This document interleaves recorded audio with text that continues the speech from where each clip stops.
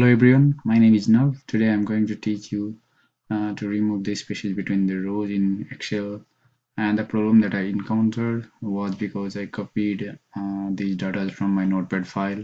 So when I copied those in Excel, there were spaces in between the each row. So what I want is uh, I want to remove these spaces.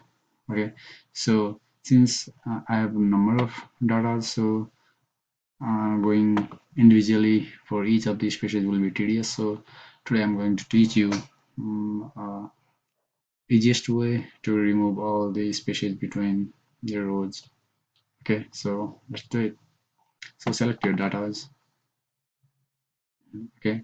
So then either uh, click fn plus cf5 or go here find and select and click on go to okay. So the shortcut for this is f5 and for that you have to click on fn so fn plus f5 okay? So in here go to special and blanks and click on ok so all of your spaces are selected okay? So uh, just right click on your mouse and there is this option delete right? So in row and click on ok. Well this is it